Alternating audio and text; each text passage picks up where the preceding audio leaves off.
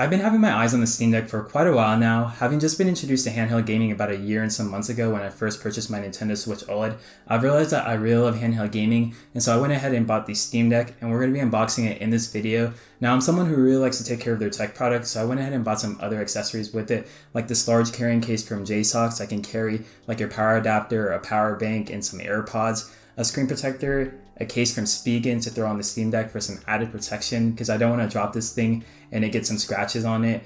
And since I got the 64 gigabyte version, I went ahead and picked up a 512 gigabyte micro SD card from Silicon Power because like what am i going to do with 64 gigabytes guys? Like i'm going to download like one or two games and it's all going to go away. The good thing is that the storage can be upgraded to an ssd here in the steam deck and that's something i would like to do in the future but i'm not sure if i trust myself opening my steam deck just yet i need to watch more videos on it before i attempt to do that but for now the micro sd card will just have to do and all of these accessories will be linked down in the description but with that out of the way let's get straight into the unboxing it comes in this plain cardboard box but i don't think this is a bad thing because you can only get this handheld online so it has to be shipped to your doorstep, and I don't think you would want a fancy looking box that says Steam Deck all over it at your doorstep while you're at work and nobody's home to put it inside, so it's kind of a positive thing.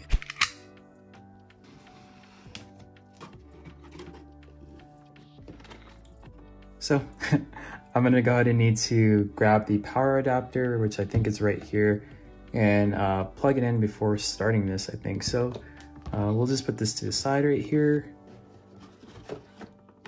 kind of like the writing on here. It's pretty dope.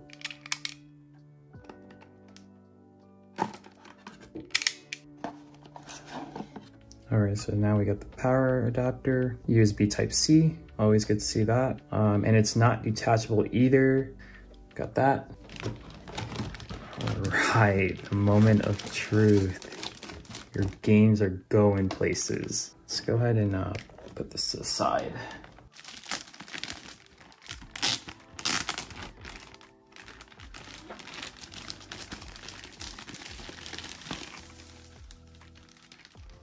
Let's go ahead and take off the sleeve.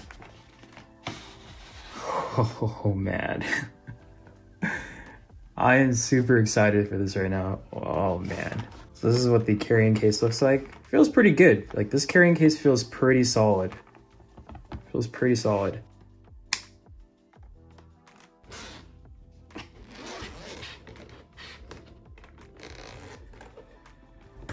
Oh my goodness. Dude, this is absolutely sick right here. Wow, this thing is, it's very huge, like, jeez. But it's, it's, it's very ergonomic, like this feels like I can hold it for a while, especially because right away what I notice is just look at the ergonomic shape that they put. Like this is perfect for holding it, you know, it feels like a natural holding grip. All right, analog sticks feel feel good. They feel good. Buttons, D-pad. These these triggers though, they feel really great. They feel super smooth. Like, like wow. Just seeing this in person for the first time, this thing looks sick.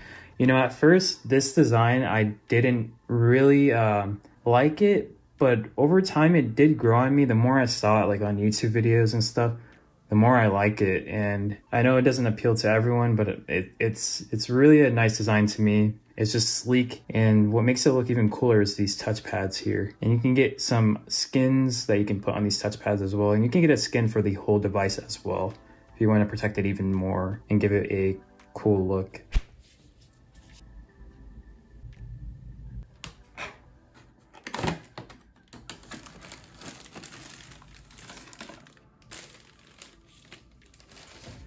Yeah, this case is pretty dope. And it comes with this little um, wristband that you can attach to your wrist. So if you do drop your Steam Deck, it'll, you know, catch your Steam Deck. So uh, that is cool, but I don't know if I'll put this on, um, but it is here, you know, if you want to use it and it's uh, add some more protection.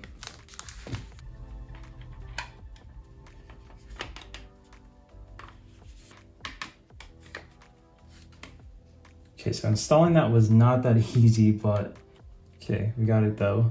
All right, and let's go ahead and take a look at the protective carrying case from JSAUX. This is the larger carrying case that allows you to just carry more stuff. So let's go ahead and take it out and see what it looks like.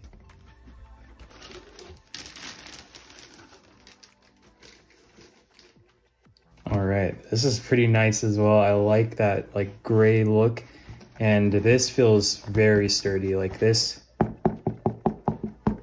You know, this is definitely protecting your Steam Deck. Like I, you would have to really put something heavy on it to compress it. But other than that, if you're using it for like normal use, this seems like a pretty good case. So, so this is the original case that comes with the Steam Deck, and this is the JSAUX one. They're almost about the same size. The JSAUX is a little bit larger in terms of the width. As you can see, it has more space here down for storage, whereas the regular Steam Deck case doesn't have as much width, so it can't carry as much stuff.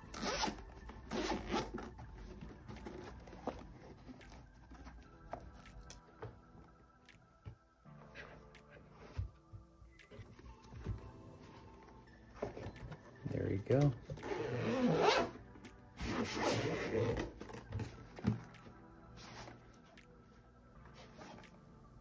All right, so now we're gonna go ahead and uh, plug in the power adapter and plug it into the Steam Deck and power this thing on. So let's go ahead and do that.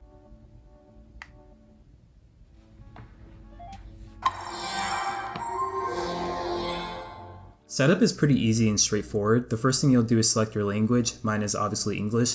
Then it'll give you a list of time zones to choose from. Select the one that applies to you. I live in the West Coast, so I chose Pacific Standard Time. And then after that, you get to select your Wi-Fi and put in your password. Once you're connected, the Steam Deck will need to update, but after this, you log into your Steam account and then you'll be greeted with a quick tutorial of some of the buttons on the Steam Deck and what they do. After this, you're all set. It was definitely one of the quickest setups I've done. Inserting and formatting the microSD card was pretty simple. Make sure the card is facing forward, then insert it.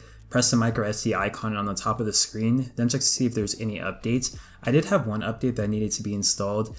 Then scroll down and format the SD card. It doesn't really give you a notification that it's done formatting, but to check that it's working, you can check the storage in the settings menu and it should show the SD card on the top right corner, or you can download a game and it should give you the option to download it on the internal storage or the micro SD card. And as you can see, I wasn't even able to download Cyberpunk on the internal storage, so if you plan on playing big AAA titles, you're definitely going to need a micro SD card or expand the storage on the 64 gig model. But nevertheless, I'm super excited that I now have my Steam Deck and I'm definitely going to be doing review on this, so stay tuned for that.